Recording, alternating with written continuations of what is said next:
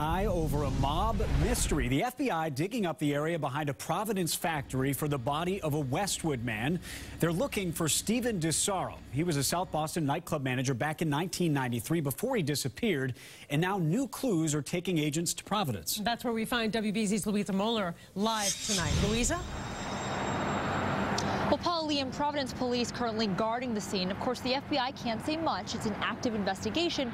But today we got a small glimpse of their large-scale operation, including a visit from the medical examiner.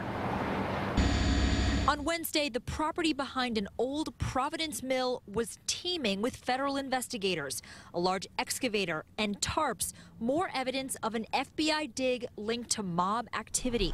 The medical examiner also spent time at the scene.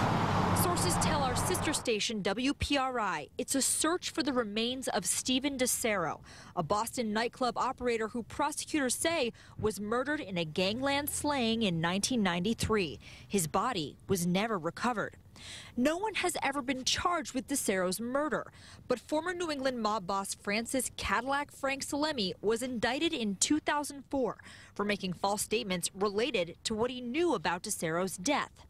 A government press release saying, quote, the defendant, Francis P. Salemme was present at the scene of Steven DiSarro's murder. The defendant also assisted in burying Steven DiSarro's body to prevent its discovery. The FBI remaining tight-lipped, only saying there's no threat to the public, while local residents are in awe. I've lived in this house for 30, 38 years and no problems at all and then I find out there's some kind of a gangland shooting. It seemed just like a dark history in Providence past that might be coming back or it could be from a previous time, but we'll find out. Now, back in August, federal investigators actually raided this property for an illegal marijuana growing operation. They arrested the complex owner, William Ritchie, but there is no evidence that Ritchie's case is related to this dig.